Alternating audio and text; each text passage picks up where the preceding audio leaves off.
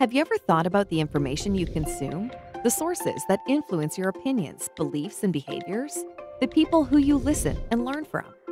Being intentional to listen and learn is just one way a person can lead and lend support to causes they care about.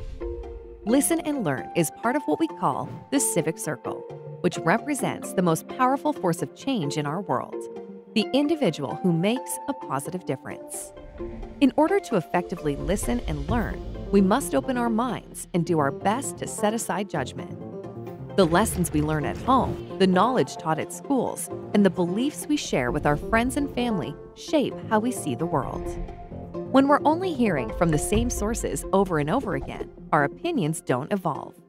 To effectively learn, we must challenge ourselves with new ideas. By listening and learning from people outside of our own circles, we can become better friends, neighbors, and coworkers with a greater understanding of each other and the issues we face. Through listening and learning, we can build bridges across our differences and make more informed decisions. Keep an open mind, ask questions, and commit to listening and learning. It starts with you tapping into the power of the Civic Circle.